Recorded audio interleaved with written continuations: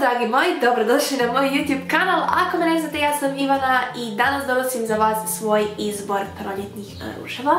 Moram reći da mi se kolekcija tih proljetnih nijansi malo napunila u zadnje vrijeme jer sam baš bila u potrazi za njima i želim s vama podijeliti svoja mišljenja na njih. Danas sam izgleda malo također čupavo kao i u zadnjih par videa, ili u idućih par videa, ovisi kako to kronološki sve bude išlo. Trenutno držim kosu onako malo u prirodnijem stanju, tako da mi nemojte zamjeriti moju čupavost, a bit će bolje. Ja ovdje imam 1, 2, 3, 4, 5, 6, 7, 8 osam ruževa o kojima ćemo govoriti, zapravo manje više sve ih jako volim, ali postoje razlike u finišima, u trajnosti, u manje više svemu i definitivno sve od ovih, sve od ovih nijansi odadržu se savršeno primjerene za, za vrijeme proljeća.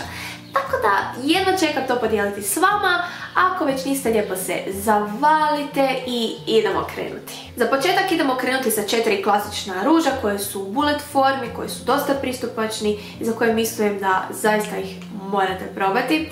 Prvi uh, doslovce ruževi koje u svakom ovakvom videu spominjem su Wet n Wild ruževi i samo stanje ovog ruža će vam onako dosta reći o tome koliko ga volim. Ovo je prva nijansa koju sam kupila od Wet n Wildovih ruževa i znam da je nešto Maue Aura Here ili nešto tipa toga, znam da je sa Maue nijansa.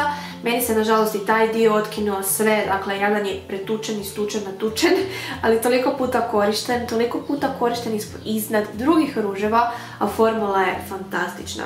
Ja ću ih ovako početi spočeti na svojoj ruci, dakle po redu, dakle ovo vam je Wet n Wild Vidite da je pigmentacija fantastična i ono što najviše volim kod ovog ruža je ta kremastost. Jednostavno kad ga nanesete usne osjetite taj baš ugodan, ugodan osjećaj. Dosta dugo traje, ne razmazuju se, ne isušuju usne. Fantastični su, koštaju samo 23 kune, imam valjda 10 komada u svojoj kolekciji. I zaista su meni osobno jedni od onako naj, najdražih ruževa. Ovo je onako više, ajmo reći, na roskasta nijansa koja vuče na boju mesa ako to ima ikakvog smisla, nekako mislim da ću uskoro morat nabaviti novo pakiranje. To je ono što je najgore s ovim ruževima. Zaista su fantastični, ali pakiranje tako brzo ode k vragu da je to strašno. Ali, ok. Nakon toga, uh, idući je na redu uh, Catrice ruž. Ultimate Matte u nijansi 070, ovo ime trenutno, mislim, uh, možda čak više nije najsvjetlija nijansa, ali definitivno jedna prava, onako proljetna vuče na njud, roskastu nijansu, ali opet nije previše roza, dosta vuče i na tu ta, onako zagasi tu nijansu, ajmo reći. Pogledajte ovo, fantastično. Ja volim ovakve nijanse, zaista ne znam zašto, ali e, baš ono, mom okusu izuzetno ugodne. Formula ovog je stvarno sjajna, malo je više isušujuć od Wet malo s obzirom da je baš mat ruž, Ovi megala struževi od Vetemana nisu mat, ne govore nigdje da bi trebali biti mat, malo imaju tog sjaja u sebi, ali ovo je u potpunosti mat i malo je isušiviji na usnama, košta neki 30 kuna i zaista je jako, jako, jako lijepa nijansa i definitivno ju obožavam. Idući na listi je također nešto još malo skuplje, to je Avon of Pure Pink. ova je onako zaigrana, nude nijansica koja više vuče na nekakvu breskvastu nego li na pink nijansu, ali e, definitivno ne fali joj svega. Jako lijepo izgleda na usnama, dosta često ga koristim na matje strani i ne isušuje toliko usne kao Catrice, ali e, formula od svih ovih, ova tri ruža je stvarno bomba i definitivno im ne mogu naći niti jednu zamjerku što se formula tiče. I zadnji iz ovog e, bullet, ajmo reći, iz ove bullet forme je 940 Rose Rush, također mat formula dakle od Maybellina. I znam da me za ovome non stop ispitate što je na usnama, što je na usnama, što je usnama. 99% zadnjih videa je bilo ovo na usnama i preko toga nekakav, nekako sjenilo prozirno. Dakle, ovo mi je onako pinky, prava pinky nijansa, dosta je mat ruž, tako da to morate imati na umu. Čak bi ju skoro nazvala i boja fuksije, ali na kameri uopće ne izgleda tako, već je puno svjetlija.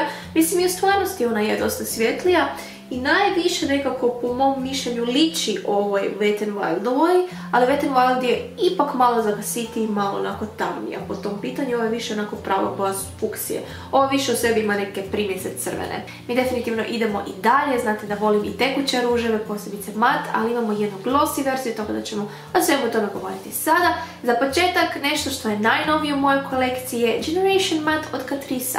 Fantastičan e, tekući ruž koji e, je jedan, po mom mišljenju, od najugodnijih tekućih ruževa koje sam ikad koristila. Dakle, on se zaista i osuši, on stoji na mjestu, ali ne isušuje usne. Ne znam kako, ne znam zašto, ali stvarno formula je odlična. Imam samo jednu nijansu, za sad još ću neke ispikirati, ali rang nijansi, to sam već par puta rekla, je dosta slično, pa onda. Ovo je nijansa 060 Blushed Pink i zaista je nadogradiva. Jedan sloj kad ga povučete je dosta, dosta, dosta onako može biti, ok sad je dosta intenzivan s obzirom da je ovakav swatch, ali kad ga nanesete na usne bude puno, puno, puno nježnije, evo, vidite malo bolje za tu nijansu. Po mom mišljenju, ove ruževi mišu božanstvene, točno ono neku kremu ili na toplu čokoladu, nešto tog tipa, zaista imaju odličan ugodan miris, Aplikator je malo specifičan, e, onako spljošten u sredini, ne znam koliko ćete vidjeti, ali zaista, zaista onako funkcionalan, nije prevelik, nije premalo, dovoljno dobar. E, pakiranje je zaista, zaista jedno onako od boljih, slađih malo drugačijih i Catrice uvijek ima poprilično zanimljiva pakiranja.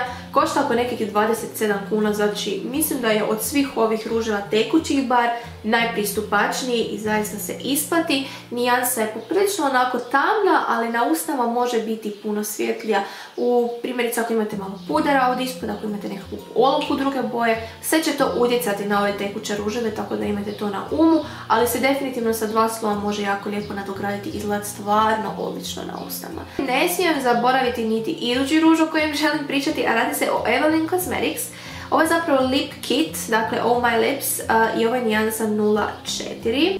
Ovo je predivna, predivna proljetna nijansa i mislim da je ovo jedan od prvih koje sam ja kupila za recenziju. Mislim, vidite već lagano ovaj pattern koji ovdje imam. Sve su nekako roskaste te nijanse, boje mesa ili nisu toliko boje mesa koliko su te roza nježne nijanse. Dobre formule je, nije ono da će vam se, ne znam, nija sasušiti istog trena, dosta dugo traje, može se popraviti, imam cijelu recenziju na ovaj proizvod i sad što ga duže koristim, zaista mi se sve više i više sviđa. Tako da ovo čak mi je malo draža nijanse, nijansa od ove, iako ima malo više primjesa crvene u sebi, tako da eto ga. I za kraj imamo onako brand koji je meni osobno najomiljeniji što se tiče ruževa. Dakle, volim i neke druge stvari od njih, ali mislim da su im ruževi najkvalitetniji i uvijek bi od njih prvo odabrala ruž. A radi se o Wet n Wildu.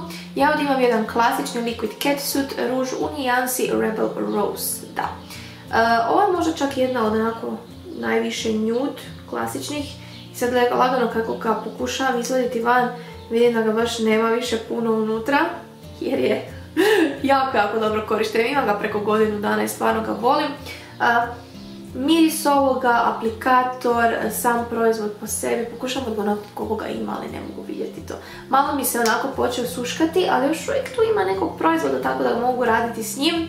U svakom slučaju, fantastičan, fantastična formula ruževa. Imam ih više zapravo u kolekciji, razno raznih i zapravo jako ih volim kombinirati i između, ali meni su ovo jedni od naj, najdražih ruževa drogerijskih što se tekućih ruževa tiče. I Liquid Headset su dobili uh, mat verzije, su dobile sestinske verzije, ali u sjaju. I ovo često znam također imati na usnama. Nijansa je Cheek Got Real. I zapravo, meni je ovo više kao jako, jako gusto sjajalo nego li tekući ruž. Jer e, zna se to dosta i razlijevati preko usana i morate imati nekakvu dobru olovku od ispod i što sve ne. Ali nijansa je tako, tako, tako, tako dobra. Kad želite predah od nekakvih eh, tekućih ruževa koje nosite i želite nešto malo bolje, um, hidratantnije, onda je ovo to. Nijansa je predivna, zaista je, evo vidite i sami koliko je onako i sjajna i to nijanse je malo posebnije od svih ovih koje imam ovdje na ruci i zaista, zaista izgleda fantastično. Eto ga ljudi dragi moji, to je bilo mojih osam različitih nijansi ruževa koje odabirem za ovo proljeće.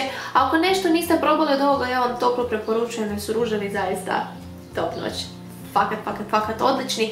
Meni jedni od obiljenih i ako me išta vidite da nosim na usnama tijekom ovog proljeća do ljeta, vjerojatno jedan dobar dio ljeta, to će biti ti ruževi i to vam je vjerojatno to. Eto ga, dragi moji, nadam se da ste uživali, nadam se da ste pronašli nešto novo za sebe i u svakom slučaju pišite mi koje je vaš onako jedan najomiljeniji proljetni ruž koji imate u svojoj kolekciji koji biste apsolutno 100% preporučili. Još uvijek moram probati farmaciji, još uvijek moram probati auru koju mi stalno pričate i golden rose jer ja stalno zaboravljam te ruževe. Dakle, Milijun puta prolazim kraj Aure, nikad se ne odlučim kupiti jer me nikad ne privuče njihovo pakiranje. E, prolazim kraj Golden Rose u City Centru i zaboravim jednostavno, ne znam zašto, ali totalno zaboravljam na njihove ruževe. Farmacije je kataloška prodaja pa mi je to malo teže za nabaviti, ali čula sam jako, jako dobre preporuke na njih. Tako da vidjet ćemo, ću se za, zadatak konačno vas poslušati i probati te ruževe, ali ako imate još nešto izvan toga što jako volite, svakako pišite mi, nemojte zaboraviti navesti nijanse koje vam se jako sviđaju. Eto ga, dragi moji, nadam se da ste uživali, ako jeste, ostavite mi like i do idućeg puta šaljem puno, puno, puno pozdrava. Bok!